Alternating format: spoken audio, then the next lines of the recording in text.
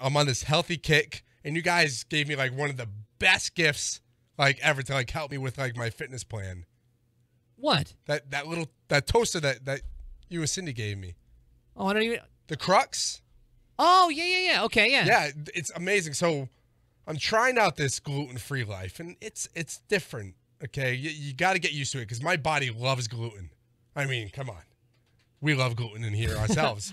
and did you notice that like there's a button you hit? It says gluten-free. So like you put the bread in, and then next thing you know, you get gluten-free bread.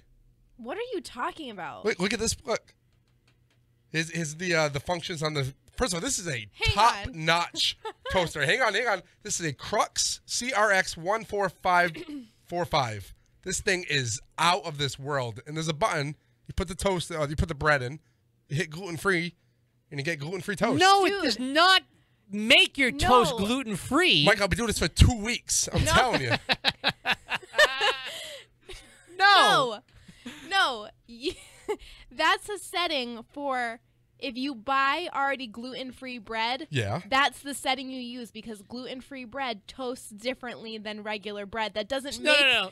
that so you're doesn't are you saying right now that you thought like you take white Wonder Bread or whatever, put yeah. it in that toaster, and it makes it gluten and it free. just magically transforms it into gluten free bread? I mean, oh I Really? guess. Where do you think the gluten goes? I don't know.